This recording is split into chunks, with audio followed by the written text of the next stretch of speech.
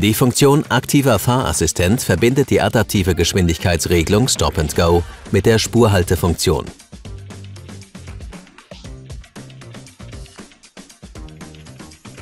Wenn diese beiden Funktionen aktiviert sind, nutzt das System die Informationen der Kamera an der Frontscheibe und des Radars im vorderen Stoßfänger, um Ihr Fahrzeug in die Mitte der Fahrspur zu bringen, dort zu halten und gewährleistet gleichzeitig, dass die Regelgeschwindigkeit und ein bestimmter Abstand zum vorausfahrenden Fahrzeug eingehalten werden.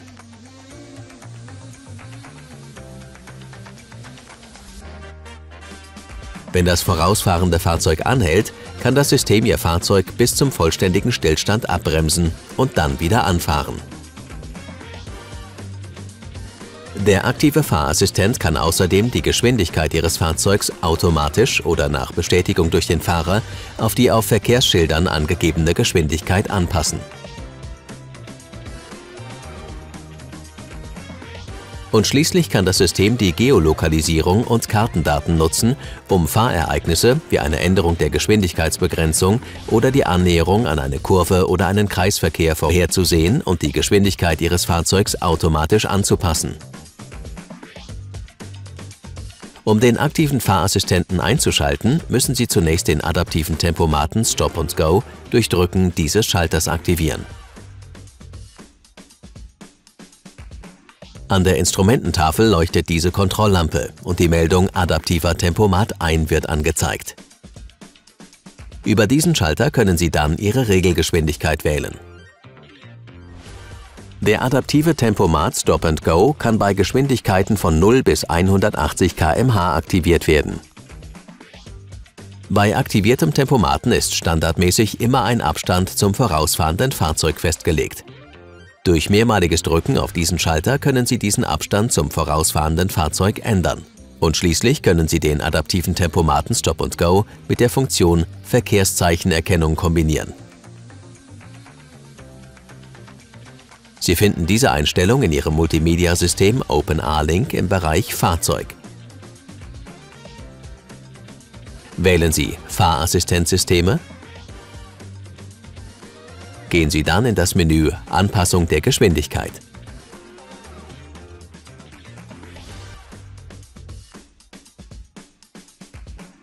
Nach der Aktivierung des adaptiven Tempomaten Stop and Go und zur vollständigen Aktivierung des aktiven Fahrassistenten müssen Sie nun die Spurhaltefunktion aktivieren, um Ihr Fahrzeug auf Ihrer Fahrspur zu halten.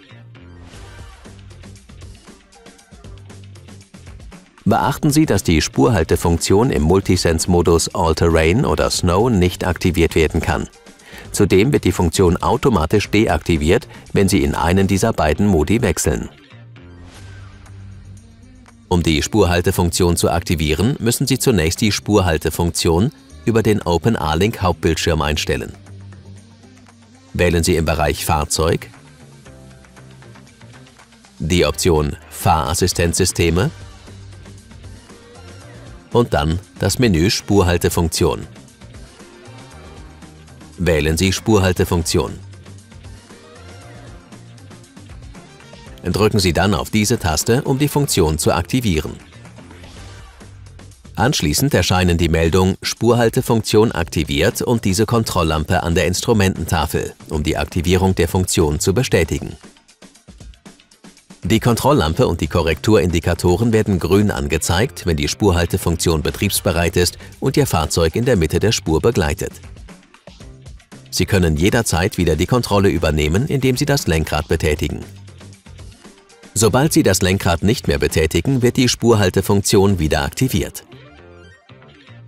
Wenn die Fahrbahnmarkierungen und die Kontrolllampe grau angezeigt werden, sind die Funktionsvoraussetzungen der Spurhaltefunktion nicht gegeben.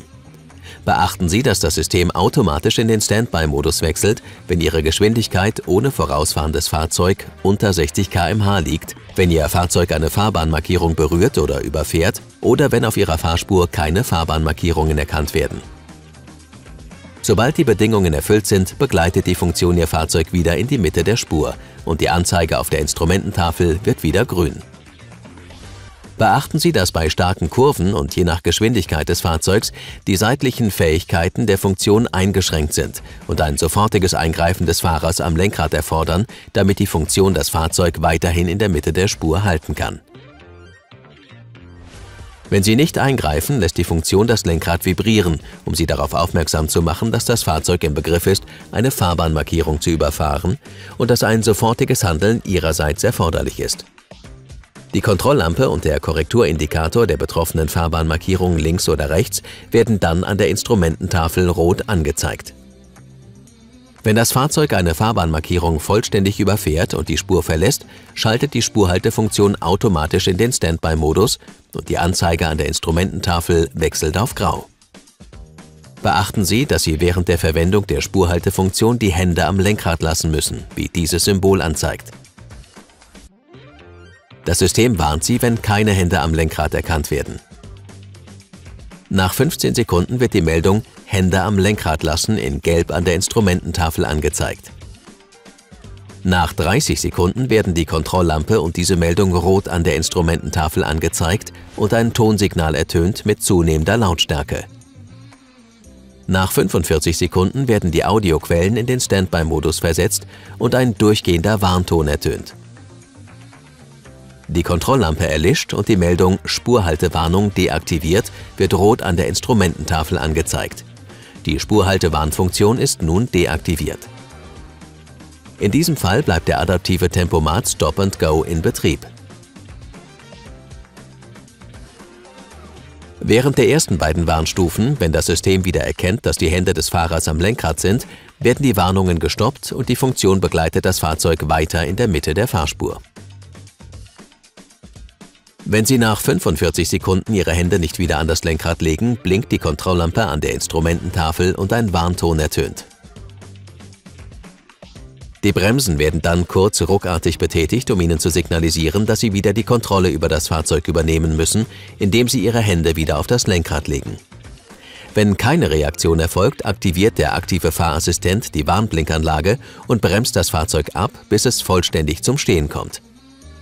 Sie können diesen Vorgang und den aktiven Fahrassistent jederzeit durch Festhalten des Lenkrads oder Bremsen unterbrechen.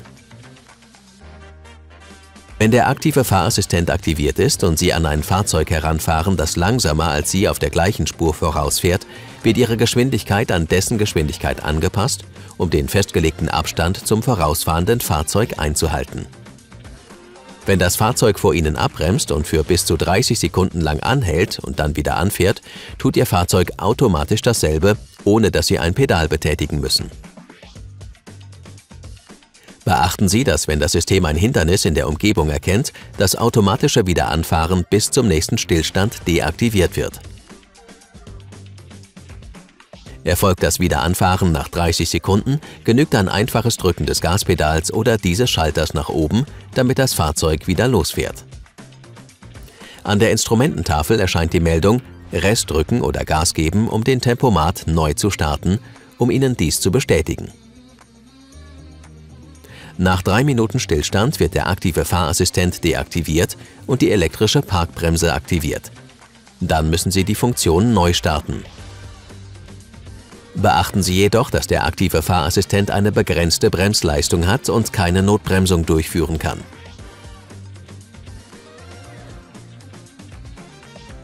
Des Weiteren können Sie die Regelgeschwindigkeit jederzeit durch einfache Betätigung des Gaspedals überschreiten und einen Überholvorgang durchführen.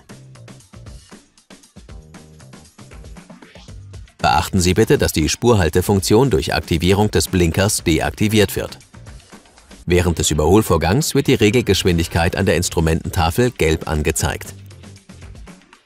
Wenn der Abstand zum vorausfahrenden Fahrzeug geringer ist als der, den Sie festgelegt haben, wird die Abstandsüberwachung deaktiviert und der Balken an der Instrumententafel blinkt.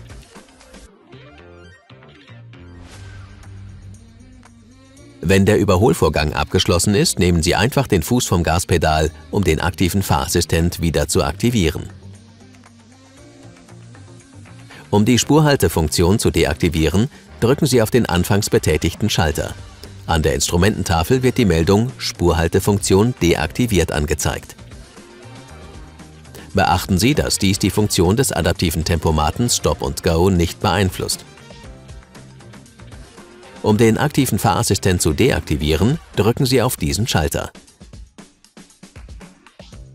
Der adaptive Tempomat Stop and Go und die Spurhaltefunktion werden gleichzeitig deaktiviert.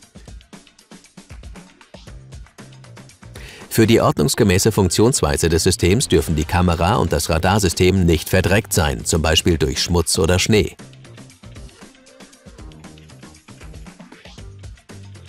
Die Funktion kann vorübergehend beeinträchtigt sein, wenn die Sicht schlecht ist oder die Straße enge Kurven aufweist. Zudem müssen Sie den aktiven Fahrassistenten deaktivieren, wenn Sie einen Anhänger ziehen. Beachten Sie, dass Kamera und Radar nur Fahrzeuge erkennt, die in die gleiche Richtung fahren wie Sie.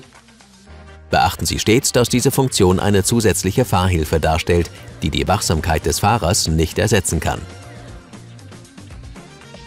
Sie sollte vor allem auf Autobahnen, bei fließendem Verkehr oder in Stausituationen verwendet werden. Der Fahrer muss die Fahrzeuggeschwindigkeit ganz allein immer an die Verkehrsverhältnisse anpassen, unabhängig von den Anzeigen des Systems.